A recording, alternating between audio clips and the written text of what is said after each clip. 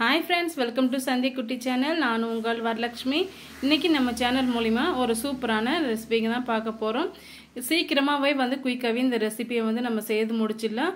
காலையில் சீக்கிரமாக எழுதுறதுக்கு டைம் ஆயிடுச்சு அப்படின்னு சொல்லிட்டு பார்க்கும்போது இந்த ரெசிபியை வந்து நீங்கள் செய்து பாருங்கள் சீக்கிரமாகவே நம்ம செய்து முடிச்சிடலாம். டேஸ்டியும் வந்து ரொம்ப அருமையாக இருக்கும். வாங்க வீடியோக்குள்ளே போகலாம். குக்கர் ஒன்று வச்சுக்கிட்டேன். மூணு டீஸ்பூன் அளவுக்கு ஆயில் சேர்த்துக்கிட்டேன். ரெண்டு பீஸு பட்டை சேர்த்துக்கலாம். ரெண்டு கிராம்பு. நல்லா பொரிஞ்சு வரட்டும். ரெண்டு பெரிய சைஸு வெங்காயம் வந்து நீல வாக்கில் அரிஞ்சு வச்சுருக்கேன். ஒரு டீஸ்பூன் அளவுக்கு இஞ்சி பூண்டு பேஸ்ட்டு. இது எல்லாம் சேர்த்து நல்லா வந்து மிக்ஸ் பண்ணி கொடுங்க. நல்லா வந்து வதங்கி வரட்டும்.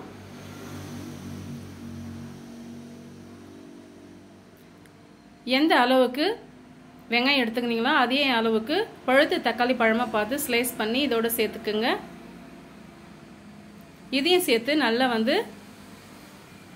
வதக்கி விட்டுருங்க. இது குயிக்காகவே செய்து முடிச்சிடலாங்க. காய்கறிகள் வந்து ரொம்ப அதிகமாக வந்து தேவைப்படாது. சின்னதாக வந்து ரெண்டு உருளைக்கிழங்கு இருந்தாவே போதும். என்னென்ன யோசித்துன்னு இருக்கிறதுக்கு பதிலாக இந்த மாதிரி நீங்கள் செய்து முடிச்சிட்டிங்களான்னா சீக்கிரமாகவே மார்னிங்கில் செய்து முடிச்சிடலாம்.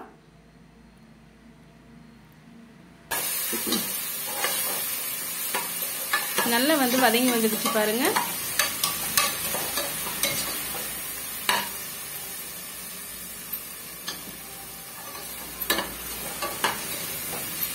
இந்த மாதிரி வந்து நல்லா வதங்கி வந்தாவே போதும்.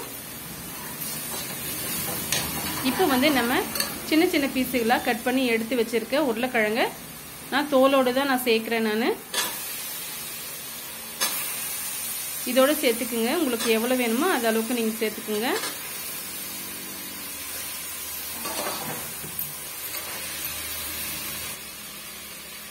இது அளவுக்கு வதங்கி வந்தாவே போதும். தேவையான அளவுக்கு உப்பு சேர்த்துக்கலாம்.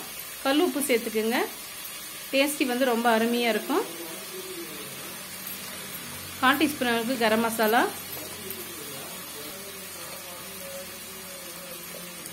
ரெண்டு டீஸ்பூன் அளவுக்கு மல்லித்தூள்.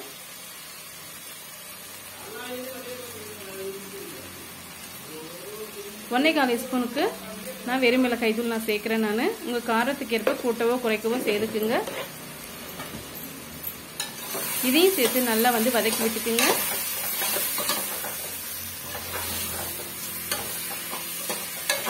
வதக்கி விட்டுட்டு தேவையான அளவுக்கு உங்கள் குழம்புக்கு தகுந்த மாதிரி திக்காவோ இல்லை தண்ணி பதத்துக்கோ எதுக்கு தகுந்த மாதிரி நீங்கள் வேணும்னு நினைக்கிறீங்களோ அது அளவுக்கு நீங்கள் தண்ணி சேர்த்துக்குங்க.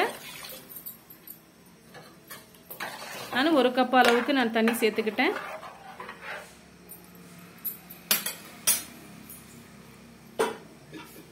ஒரு விசில் வர வரைக்கும் நல்லா ப்ரெஸ் பண்ணி நம்ம எடுத்து வச்சுக்கலாம்.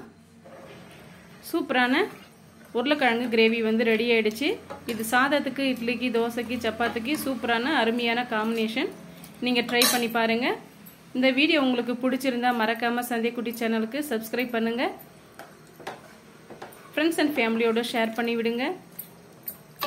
கொத்தமல்லி கிளையில் தோவி நம்ம சர்வ் பண்ணிடலாம். தேங்க்யூ ஃபார் வாட்சிங்